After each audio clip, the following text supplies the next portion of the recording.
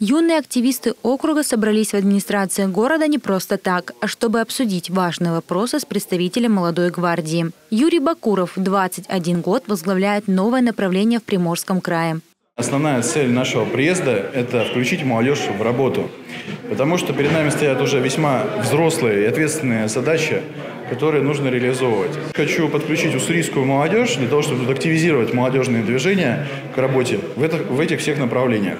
Молодой гвардии несколько векторов, и каждый из них затрагивает важную сферу жизни. К примеру, экологичный проект помогает облагораживать местные территории, а направление за ЗОЖ основывается на продвижении идей здорового образа жизни и спорта. Активисты проводят различные акции и спортивные события.